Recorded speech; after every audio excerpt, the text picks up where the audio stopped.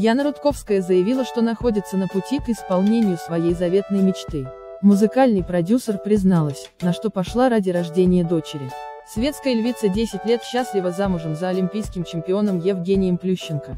У пары есть общий сын Саша, они также воспитывают Николая и Андрея, сыновей Яны от прежнего брака. Супруги хотят обзавестись наследницей, но пока попытки расширить семью остаются тщетными.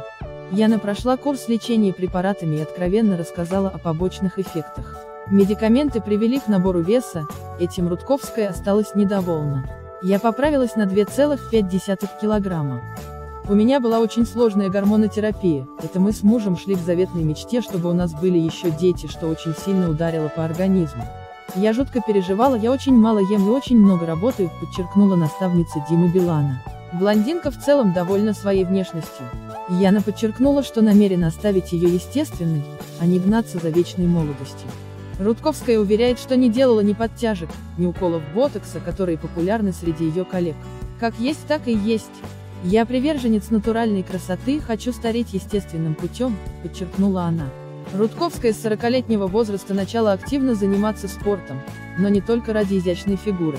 У нее часто болит спина из-за нагрузки, в связи с большим бюстом.